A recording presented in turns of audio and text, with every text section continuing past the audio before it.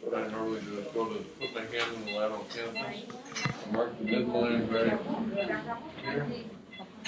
And then I just rotate it.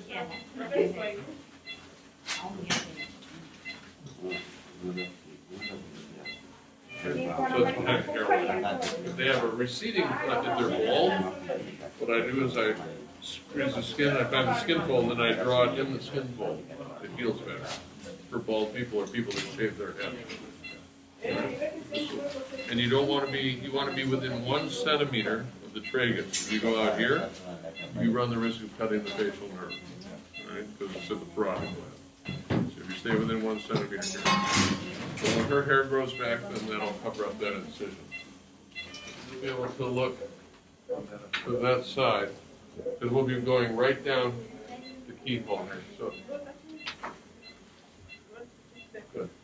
So the observer can, they're, they're down far enough so the observer can stand. Yeah.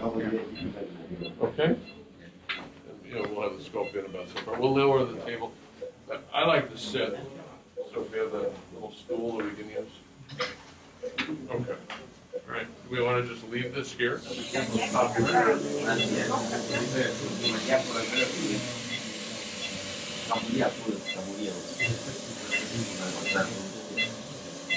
All this?